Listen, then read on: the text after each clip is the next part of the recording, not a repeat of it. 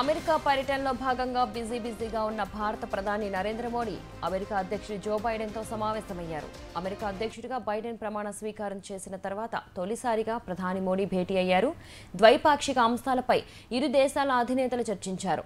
India America మధ్య ఉన్న సత్సంబంధాల గురించి ఈ సమావేశానికి ముందు బైడెన్ సంతృప్తి వ్యక్తం చేయగా ఇరు దేశాల మధ్య వాణిజ్య అంశాలపై మోడీ ప్రధానంగా చర్చించారు.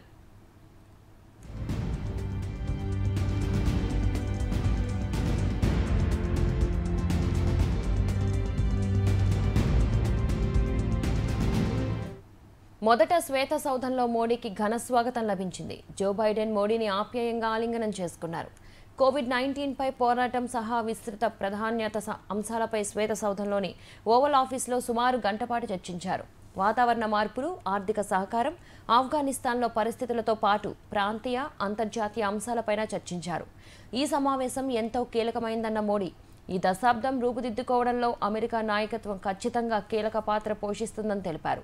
భారత్ అమెరికా వాణిజ్యం భాగస్వామ్యం మరింత బలోపేతం కావాలని ఆకాంక్షించారు.